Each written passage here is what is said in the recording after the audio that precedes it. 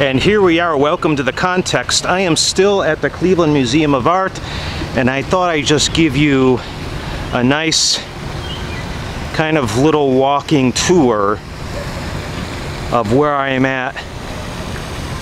I'm outside at the museum. The museum is a world-class museum on the inside, but I think as well as on the outside of the building itself. I have really lucked out because the weather today is quite nice. It was supposed to be rainy, lots of thunderstorms, and it's quite the opposite right now.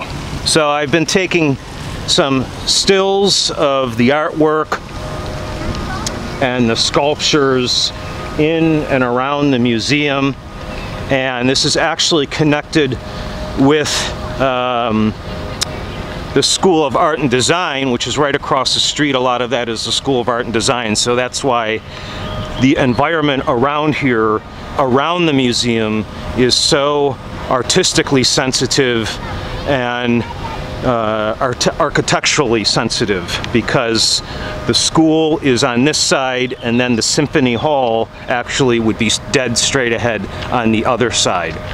So I just wanted to share with you some of the environment of what is a world-class museum and it's all for free and open to the public. Actually, if you look beyond this sculpture here, you will see the new wing of the museum.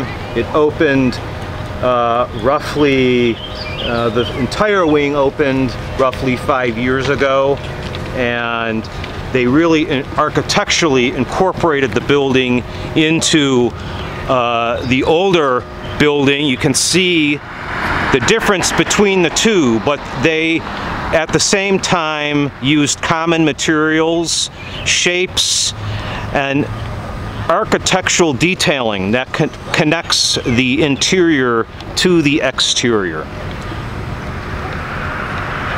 So until next time, stay creative.